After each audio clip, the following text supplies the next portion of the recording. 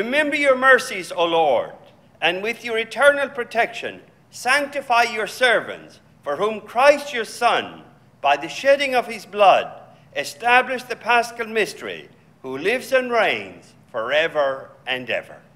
Amen. A reading from the book of the prophet Isaiah. See, my servant shall prosper. He shall be raised high and greatly exalted.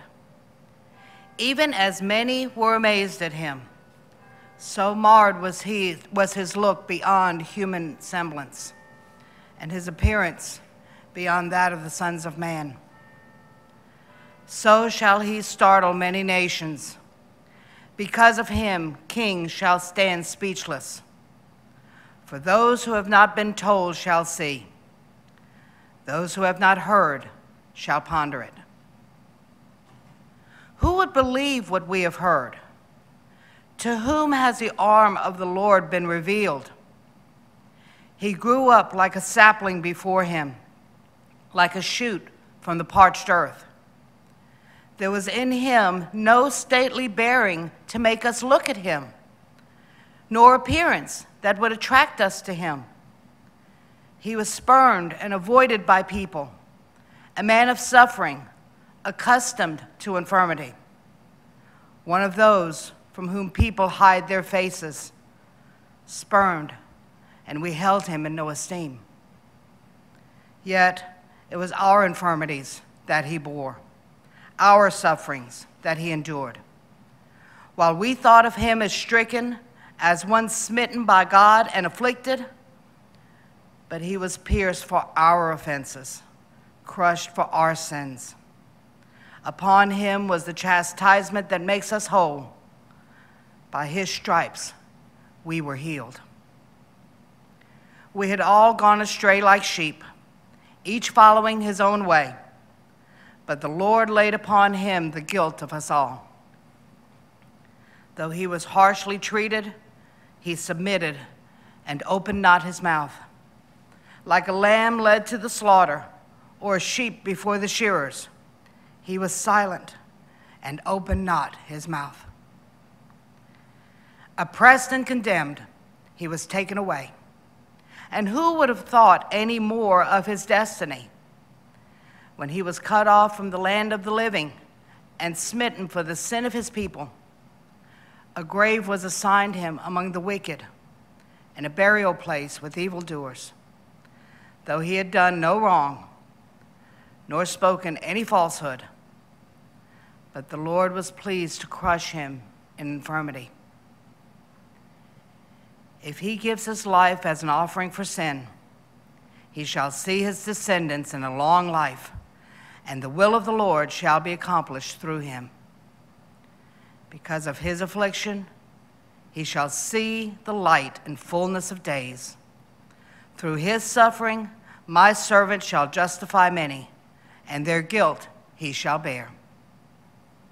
Therefore, I will give him his portion among the great, and he shall divide his spoils with the mighty because he surrendered himself to death and was counted among the wicked. And he shall take away the sins of many and win pardon for their offenses. The word of the Lord.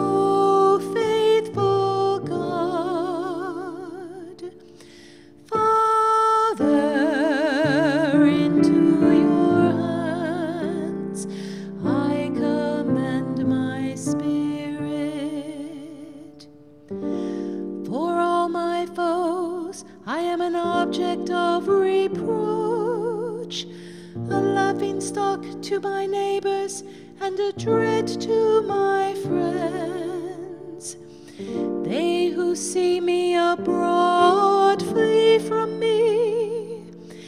I am forgotten like the unremembered dead. I am like a dish that is broken.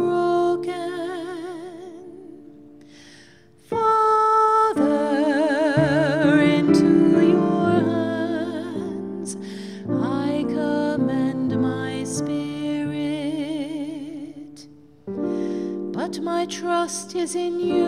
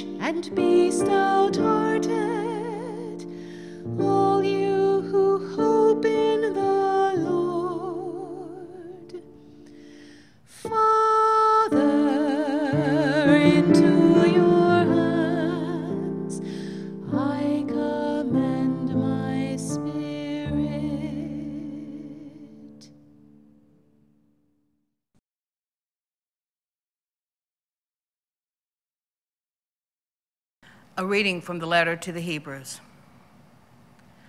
Brothers and sisters, since we have a great high priest who has passed through the heavens, Jesus, the Son of God, let us hold fast to our confession. For we do not have a high priest who is unable to sympathize with our weaknesses, but one who has similarly been tested in every way, yet without sin. So let us confidently approach the throne of grace to receive mercy and to find grace for timely help. In the days when Christ was in the flesh, he offered prayers and supplications with loud cries and tears to the one who was able to save him from death. And he was heard because of his reverence. Son though he was, he learned obedience from what he suffered. And when he was made perfect, he became the source of eternal salvation for all who obey him. The word of the Lord. Praise and honor to you, Lord Jesus Christ. Christ became obedient to the point of death, even death on a cross. Because of this, God greatly exalted him and bestowed on him the name which is above every other name. The Passion of our Lord Jesus Christ, according to John. Jesus went out with his disciples across the Kidron Valley to be where there was a garden, into which he and his disciples entered. Judas, his betrayer, also knew the place, because Jesus had often met there with his disciples. So Judas got a band of soldiers and guards from the chief priests and the Pharisees, and went there with lanterns, torches, and weapons. Jesus, knowing everything that was going to happen to him, went out and said to him, Whom are you looking for? They answered him. Jesus the Nazarene. He said to them, I am. Judas, his betrayer, was also with them. When he said to them, I am, they turned away and fell to the ground. So he asked them again. Whom are you looking for? They said, Jesus the Nazarene. Jesus answered, I told you that I am. So if you are looking for me, let these men go. This was to fulfill what he had said I have not lost any of those you gave me. Then Simon Peter, who had a sword, drew it, struck the high priest slave and cut off his ear. The slave's name was Malchus. Jesus said to Peter, Put your sword into a scabbard. Shall I not drink the cup that the Father gave me? So the band of soldiers, the tribune, and the Jewish guard seized Jesus, bound him, and brought him to Annas first. He was the father in law of Caiaphas, who was high priest that year. It was Caiaphas who had counseled the Jews that it was better that one man should die rather than the people. Simon Peter and the, another disciple followed Jesus. Now, the other disciple was known to the high priest, and he entered the courtyard of the high priest with Jesus. But Peter stood at the gate outside. So the other disciple, the acquaintance of the high priest, went out and spoke to the gatekeeper and brought Peter in. Then the maid, who was the gatekeeper, said to Peter, You are not one of this man's disciples, are you? He said, I am not. Now the slaves and the guards were standing around a charcoal fire that they had made because it was cold, and they were warming themselves. Peter was also standing there, keeping warm. The high priest questioned Jesus about his disciples and about his doctrine. Jesus answered him, I have spoken publicly to the world. I have always taught in a synagogue or in the temple area, where all the Jews gathered. And in secret I have said nothing. Why ask me? Ask those who heard me what I said to them. They know what I said. When he said this, one of the temple guards struck, standing there, struck Jesus and said, Is this the way you answer the high priest? Jesus answered him, If I have spoken wrongly, testify to the wrong. But if I have spoken rightly, why do you strike me? Then Ananias sent him bound to Caiaphas, the high priest. Now Simon Peter was standing there keeping warm. And they said to him, You are not one of his disciples, are you? He denied it and said, I am not. One of the slaves of the high priest, a relative of the one whose ear Peter had cut off, said, Didn't I see you in the garden with him? Again, Peter denied it, and immediately the cock crowed. Then they brought Jesus from Caiaphas to the praetorium. It was morning, and they themselves did not enter the praetorium in order not to be defiled, so that they could eat the Passover. So Pilate came out to them and said, What charge do you bring against this man? They answered and said to him, If he were not a criminal, we would not have handed him over to you. At this, Pilate said to them, Take him yourselves and judge him according to your law. The Jews answered him, We do not have the right to execute anyone. in order that the word of Jesus might be fulfilled, that he said, indicating the kind of death that he would die. So Pilate went back into the praetorium and summoned Jesus and said to him, Are you the king of the Jews? Jesus answered, Do you say this on your own, or have others told you about me? Pilate answered, I am not a Jew, am I? Your own nation and the chief priests handed you over to me. What have you done? Jesus answered, My kingdom does not belong to this world. If my kingdom did belong to this world, my attendants would be fighting to keep me from being handed over to the Jews. But as it is, my kingdom is not here. So Pilate said to him, Then you are a king? Jesus answered, You say, I am a king. For this I was born, and for this I came into the world to testify to the truth. Everyone who belongs to the truth listens to my voice. Pilate said to him, What is truth? When he said this, he again went out to the Jews and said to them, I find no guilt in him. But you have a custom that I release one prisoner to you at Passover. Do you want me to release to you the king of the Jews? They cried out again. Not this one, but Barabbas. Now Barabbas was a revolutionary. Then Pilate took Jesus and had him scourged. And the soldiers wove a crown out of thorns and placed it on his head, and clothed him in a purple cloak. And they, became, they came to him and said, Hail, king of the Jews. And they struck him repeatedly. Once more Pilate went out and said to them, Look, I am bringing him out to you, so that you may know that I find no guilt in him. So Jesus came out, wearing the crown of thorns and the purple cloak.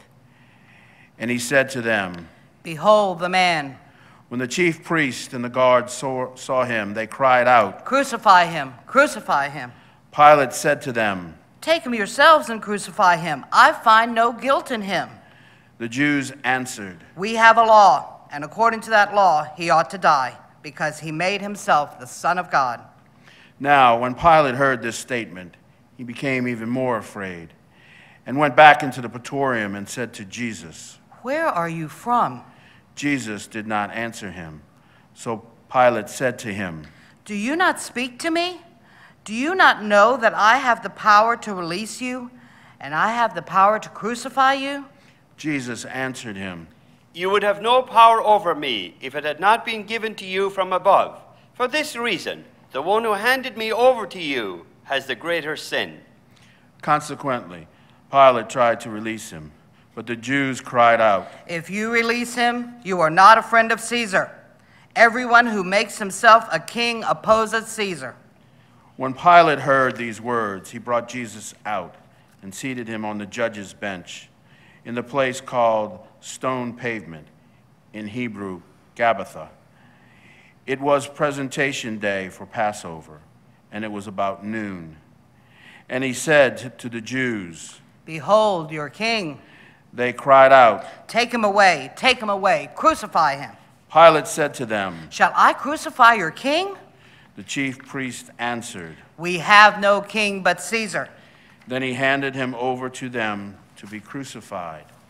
So they took Jesus, and carrying the cross himself, he went out to what is called the place of the skull, in Hebrew, Golgotha. There they crucified him, and with him two others, one on either side, with Jesus in the middle. Pilate also had an inscription written and put on the cross. It read, Jesus the Nazarene, King of the Jews. Now, many of the Jews read this inscription because the place where Jesus was crucified was near the city, and it was written in Hebrew, Latin, and Greek. So the chief priest of the Jews said to Pilate, Do not write the king of the Jews, but that he said, I am the king of the Jews. Pilate answered, What I have written, I have written. When the soldiers had crucified Jesus, they took his clothes and divided them into four shares, a share for each soldier. They also took his tunic, but the tunic was seamless, woven of one piece from top to bottom. So they said to one another, Let's not tear it, but cast lots for it to see whose it will be. In order that the passage of Scripture might be fulfilled that says, They divided my garments among them, and for my vestitures they cast lots. This is what the soldiers did. Standing by the cross of Jesus were his mother and his mother's sister, Mary, the wife of Clophas, and Mary of Magdala. When Jesus saw his mother and the disciple there whom he loved, he said to his mother, Woman, behold your son. Then he said to the disciple, Behold your mother. And from that hour the disciple took her into his home. After this, aware that everything was now finished, in order that the scripture might be fulfilled, Jesus said, I thirst. There was a vessel filled with common wine. So they put a sponge soaked in wine on a sprig of hyssop and put it up to his mouth. When Jesus had taken the wine, he said, It is finished. and bowing his head, he handed over the Spirit.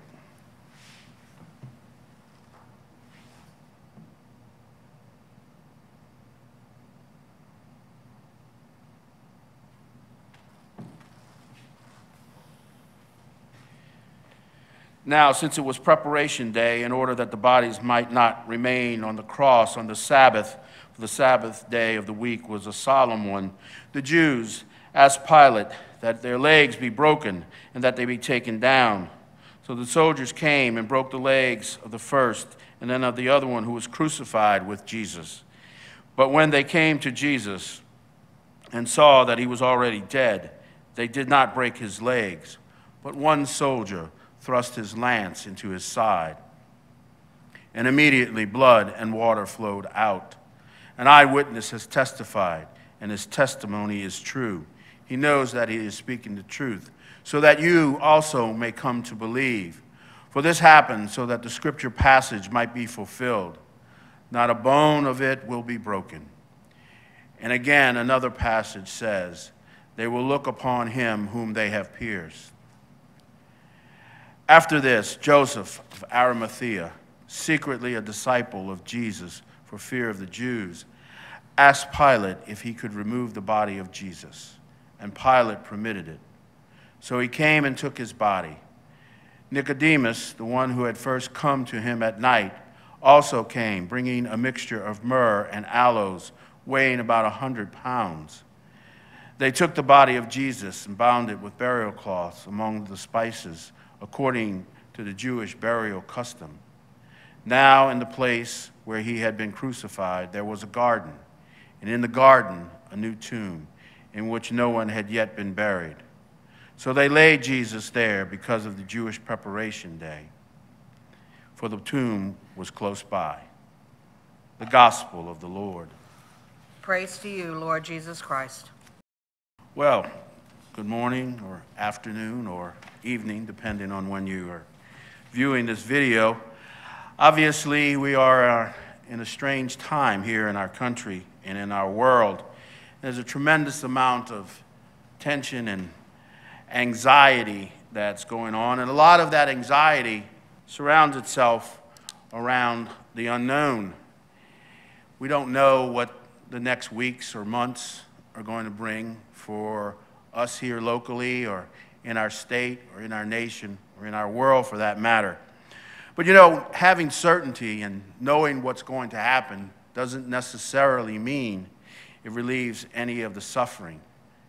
You see, Jesus knew what laid before him, where we just read about his passion. See, if we recall in Luke 4 16 through 21, Jesus enters the synagogue at Nazareth and he opens the scroll from Isaiah and he reads the scroll and he tells his kinsmen that this prophecy has been fulfilled in their hearing. And Jesus knows the rest of Isaiah.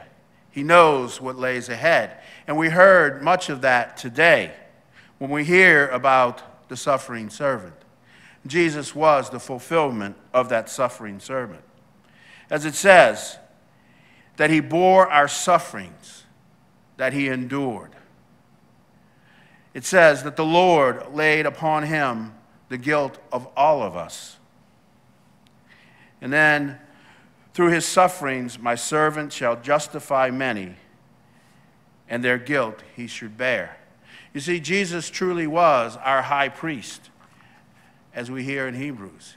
He was sent to reconcile all of us to God, to remove the sins of the world through his passion and death on the cross.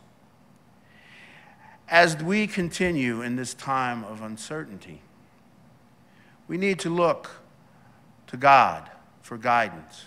We need to look for God for comfort. You know, it reminds me of the words of C.S. Lewis when he said, In silence, God whispers. In prayer, God talks to us. In suffering, God yells at us. In this time of suffering, in this time of uncertainty, let's make sure that we are listening for the Word of God. You know, there's not a lot of things we can do when we're sitting just being self quarantined. But one thing we can do is we can pray. We can pray for our community. We can pray for our country. We can pray for the world. But more importantly, we can pray for all those who are suffering and dying in this time of this pandemic. It's tragic to listen to some of the stories from the medical providers that talk about people suffering and dying, and because of the quarantine, dying alone. If we could reach out in prayer, unite with their suffering, and bring them mercifully to God, what a wonderful Christian thing to do on this Good Friday. Let us pray, dearly beloved, for our holy church of God, that our God and Lord be pleased to give her peace, to guard her, to unite her throughout the whole world, and to grant that, leading our life in tranquility and quiet, we may glorify God the Father Almighty. Almighty and ever living God, who in Christ revealed your glory to all the nations, watch over the works of your mercy, that your church, spread throughout all the world, may persevere with steadfast faith in confessing your name through Christ our Lord. Amen. Let us pray also for our most holy Father, Pope Francis, that our God and Lord, who chose him for the order of bishops, may keep him safe and unharmed for the Lord's holy church to govern the holy people of God. Almighty, ever living God, by whose decree all things are founded, look with favor on our prayers, and in your kindness protect the Pope chosen for us, that under him the Christian people, governed by you, their Maker, may grow in merit by reason of their faith, through Christ our Lord. Amen. Let us pray also for our Bishop Louis, for all bishops, priests, and deacons of the church, and for the whole of the faithful people.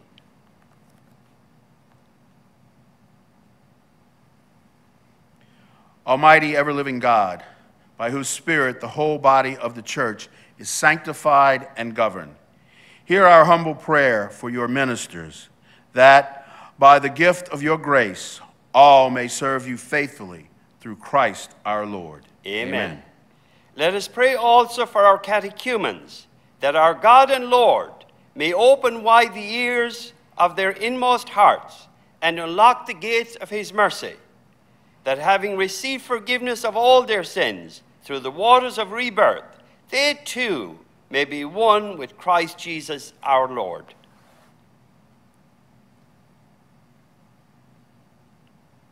Almighty, ever living God, who make your church ever fruitful with new offspring, increase the faith and understanding of our catechumens, that, reborn in the fount of baptism, they may be added to the number of your adopted children through Christ our Lord. Amen. Let us pray also for our brothers and sisters who believe in Christ, that our God and Lord may be pleased as they live the truth, to gather them together and to keep them in his one church.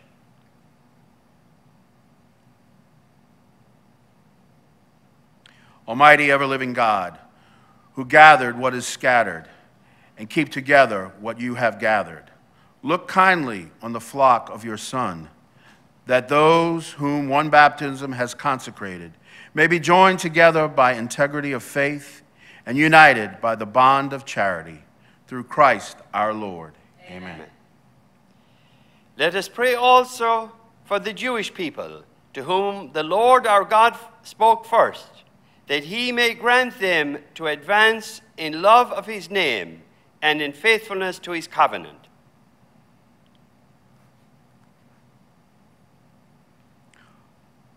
Almighty, ever living God, who bestowed your promises on Abraham and his descendants, graciously hear the prayers of your church, that the people you first made your own may attain the fullness of redemption through Christ our Lord. Amen. Let us pray also for those who do not believe in Christ, that enlightened by the Holy Spirit, they too may enter on the way of salvation.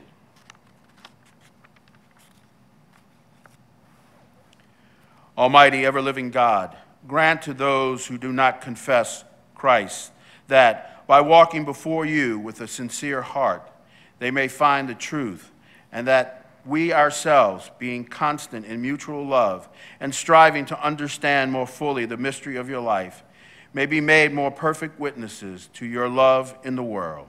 Through Christ our Lord. Amen. Let us pray also for those who do not acknowledge God, that following what is right in sincerity of heart, they may find the way to God Himself.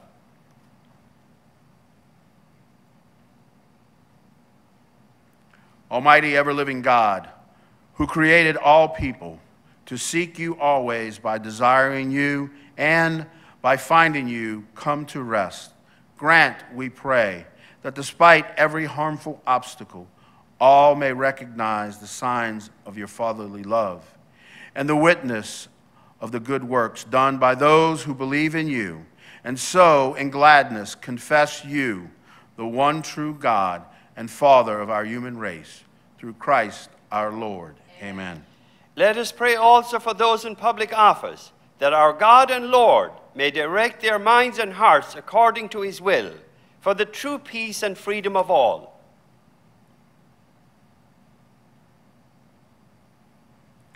Almighty ever living God, in whose hands lies every human heart and the rights of people, look with favor, we pray, on those who govern with, authority over us, that throughout the whole world, the prosperity of people, the assurance of peace, and freedom of religion may through your gift be made secure.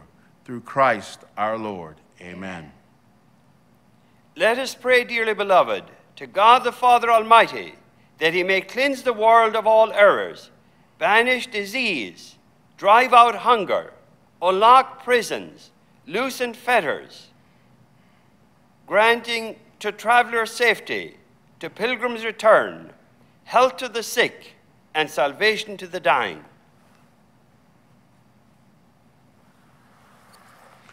Almighty ever living God, comfort of mourners, strength of all who toil, may the prayers of those who cry out in any tribulation come before you, that all may rejoice, because in their hour of need your mercy is at hand. Through Christ our Lord.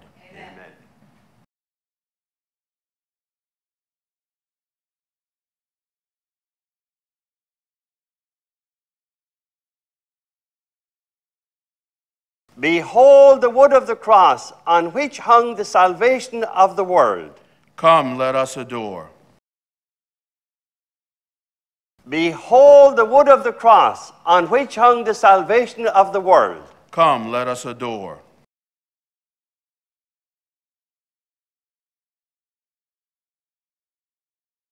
Behold the wood of the cross on which hung the salvation of the world. Come, let us adore.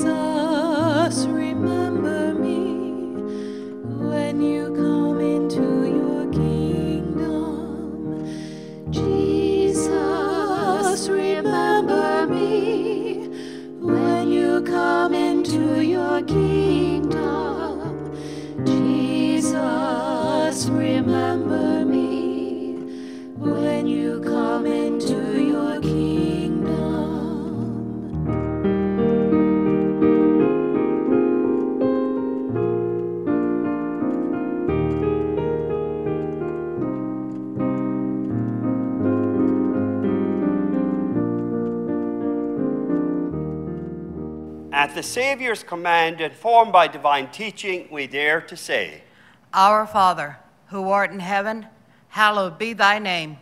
Thy kingdom come, thy will be done, on earth as it is in heaven. Give us this day our daily bread, and forgive us our trespasses, as we forgive those who trespass against us. And lead us not into temptation, but deliver us from evil.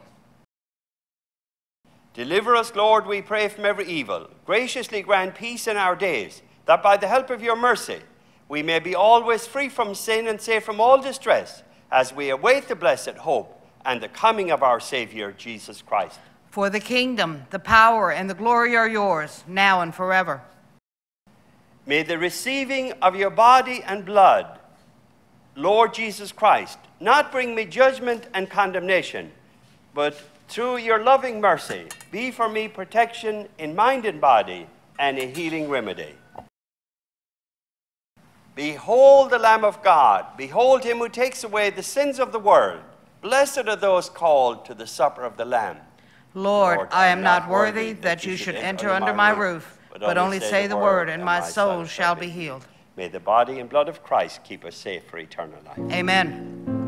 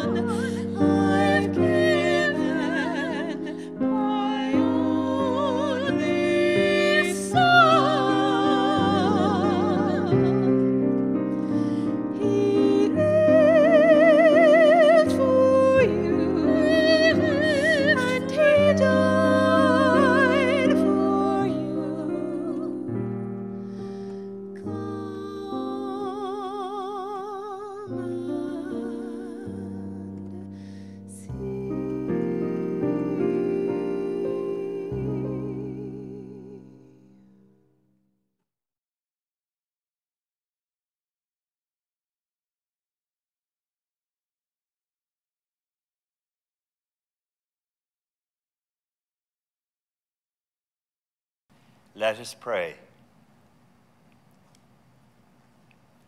Almighty ever living God, who have restored us to life by the blessed death and resurrection of your Christ, preserve in us the works of your mercy, that by partaking of this mystery we may have a life unceasingly devoted to you through Christ our Lord. Amen. May abundant blessing, O Lord, we pray, descend upon your people who have honored the death of your Son in the hope of their resurrection. May pardon come, comfort be given, holy faith increase, and everlasting remedies be made secure through Christ our Lord. Amen. Amen.